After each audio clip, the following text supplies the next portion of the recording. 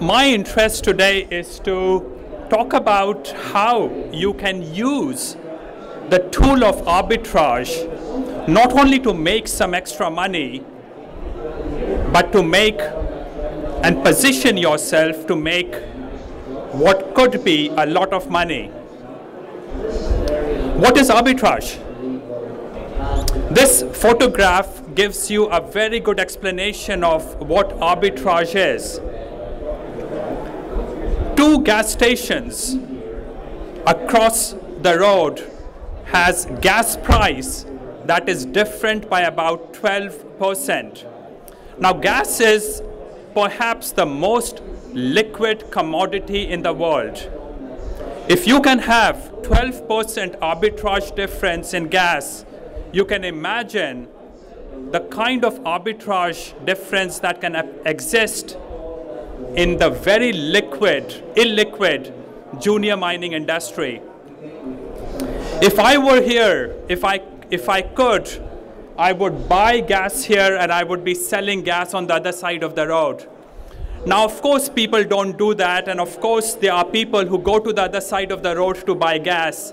I don't know why they do it. My job is to figuratively sell the gas to the other side of the road. I'm going to focus on three aspects of arbitrage mergers and acquisitions. I want to talk about what happens when the same company trades on more than one exchange. And I want to touch on rights offerings. Let's talk about one company in a bit of details. This company does not exist anymore, but this was a company called Sunridge Gold. On the 6th of November 2015, they came out with a news release saying that the company would be acquired by a Chinese entity. They gave the number, the figure for how much the company would be acquired for, and all you had to do was to do some primary school math to figure out how much money it was worth per share. The company also did the news release saying that all the cash would be released back to the shareholders and the company would be closed. The cash that you would have got would be would have been about 37 to 42 cent per share. When Sunridge opened for trading that day, the share price was 624 cent, which basically offered you a 58% arbitrage upside. In cash terms, 58%. Now, can anyone guess how long would it take for this kind of arbitrage to disappear? Anyone has any guess? This arbitrage can carry on for months at a time, and this arbitrage can actually increase with time. This is something which I find very funny, but very similar to what you see in those gas stations. Why people buy to the more buy more expensive gas? I don't really get it. But this was the situation with the share price of sunridge over the next 3 months. 40 days later it was still trading around the same price 2 months later the arbitrage upside was still 41% and a full 3 months later there was still a 38% arbitrage upside. And remember, this was the cash that the company was going to return back to you. But this, is on, this was only a part of the story. Sunridge was also had, warrants trading in the stock market. The company in the news release had said that they would pay 2 cent for each warrant of the company. You could pretty much buy the warrants at one and a half cents, and instead of trying to get your cash back, you could have given a sell order at two cent for these warrants. Now, for a lot of investors, there's not really much difference between one and a half cent and two cents.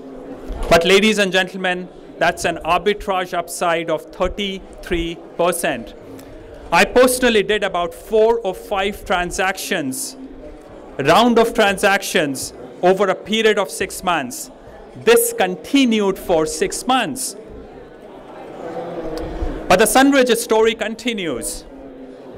And this is, I want to leave a glimpse of the opportunities that exist in the arbitrage, in arbitrage in these companies. Sunridge was trading in OTC. Sunridge was delisted from the venture exchange, but that created some confusion. And for almost a week, Sunridge in the US was trading between 5 cents to 10 cents. People I know bought Sunridge on OTC at 5 cents and made about 500% on their investment over the next one week or so. But the story actually continues.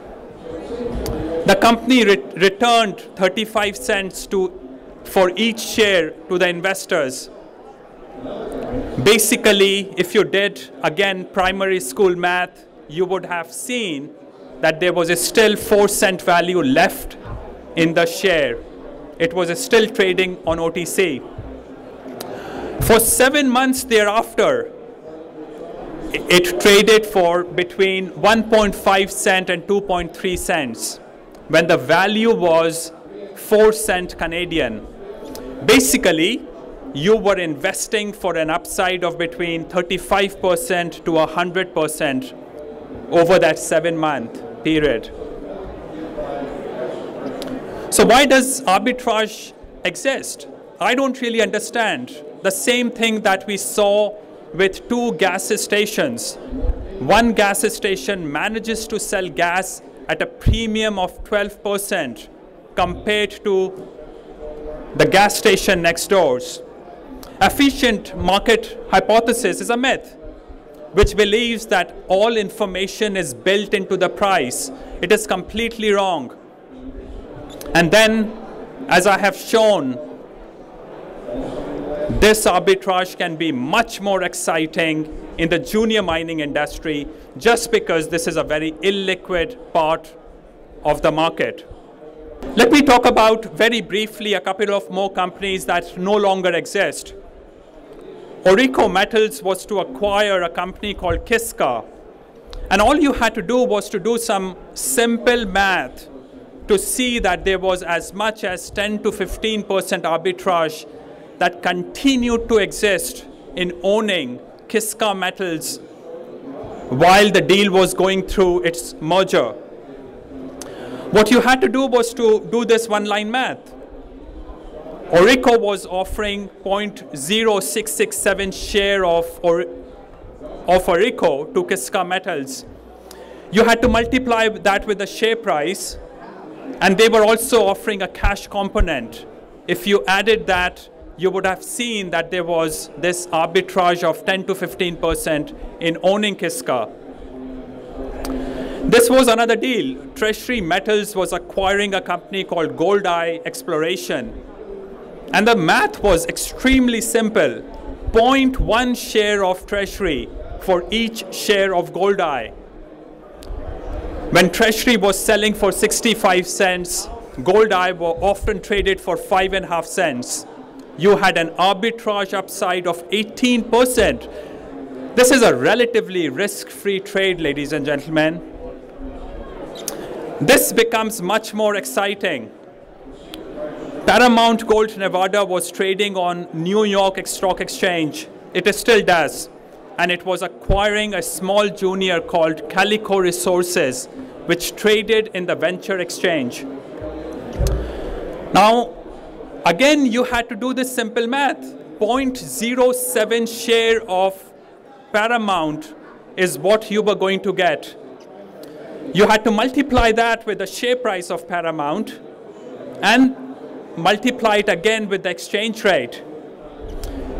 For three to four months, there was an arbitrage upside of between 25 to 40 percent in owning Calico Resources. Moreover, because Paramount was trading in New York Stock Exchange, and if you did not know the value of Paramount, you could have even short sold your shares of Paramount to book 36% profit in the deal. It doesn't get much better than that. Now, these are not just isolated cases. I have as many companies I could fit in one sheet I have put here.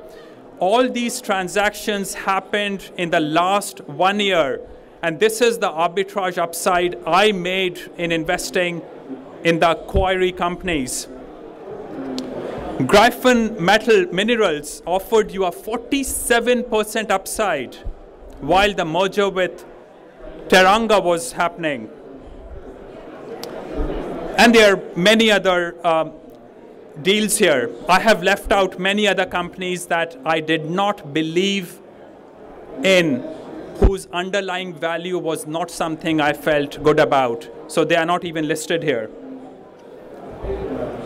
Again, this is something very exciting for the retail investors because big institutional investors cannot really invest for arbitrage. You can only invest ten or twenty thousand dollars on a daily basis in these companies at best. Big money has no interest in such investments. That is where retail investors, if they keep track of the news releases, can make a lot of money.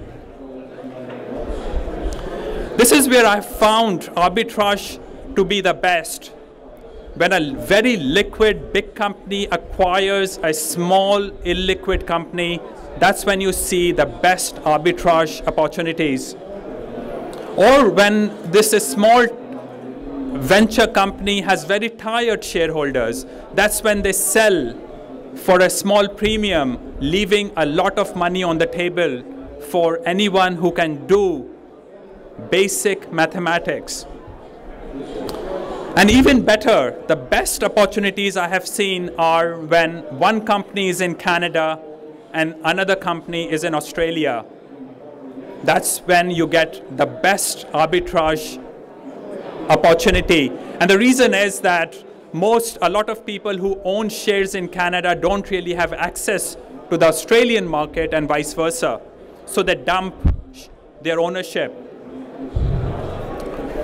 let me uh, finish talking about arbitrage with two mergers that are currently in process. I'm not going to go into details into this math that is on the screen, but Sandstorm is in the process of acquiring Mariana Resources. The arbitrage is only 3% right now. But the reason is that there is huge volume of Mariana shares currently tr trading in the market. My experience is that as volume dries up, the arbitrage tends to increase. I typically look for at least 20% arbitrage upside before I invest. This is another opportunity in the market right now. Eldorado Gold is acquiring Integra, and depending on how you do the calculation, because there are two, op- two ways in how the shareholders will get their money, the upside is between 1 to 10%, but if you use the weighted average, it comes to around 3 to 4% again. The good thing is that the volume is huge right now in Integra.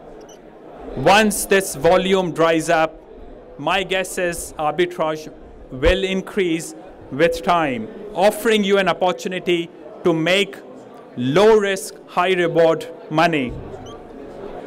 Let's, let me move on to something else very briefly before I close this talk. Rights offerings have recently started in the Canadian market. And what happens when rights offering, a company does rights offering is that the right is start trading on the in the Canadian market. And the ticker is usually the ticker of the company .RT. Now I don't buy a lot of rights. I just buy a minimal number of rights. I invest maybe five or ten dollars to buy some rights. The good thing with rights is that once you have a minimal number of rights, you also have the right to apply for over allocation of shares. Let me use an example to explain this. Kaizen Discovery early last year was going through a rights offering. You needed three rights to own one share by paying an exercise price. Now you could have bought the right for half a cent. Three rights would have cost you one and a half cent and you would have exercised the right for ten and a half cents which meant that for 12 and 12 cent you would have owned the share when the share was trading at 12 and half cents. Now that really isn't much of an upside. That was about 4% upside. But this is the fun thing. You could have applied for over allocation. Now, an exercise price of 10 and half cent and compare it with share price of 12 and a half cent. This was a profit of 19%. Now, why does your over allocation gets allotted to you? The reason is very simple. A lot of investors forget or they are too lazy to apply to exercise their rights. I have never not had my over allocation request not allotted. It's as simple as that. I invested probably about $10 in the rights and exercised, and I got a lot of over allocation in this company. There's another aspect to rights offerings, and I don't really know how this pricing works, but when a company does rights offerings, it usually does the offering at a substantial discount to the share price, which means that when the rights offering is closed, the share price has a tendency to shoot up. By the time I got my allocation, the share price was 17 cent and it kept on going up after that. There was a possibility to make a 62% profit in participating in this rights offerings. In my view, arbitrage offers you a fabulous opportunity to make money in the junior mining industry, you have to remember that you have to still understand the underlying value. Because if you don't really understand the underlying value, you can make a lot of mistakes. But this provides you a, a tool not only to make low risk, high reward money, but an opportunity to make a lot of money in cases as I showed in Sunridge Gold. Ladies and gentlemen, thank you very much for your time.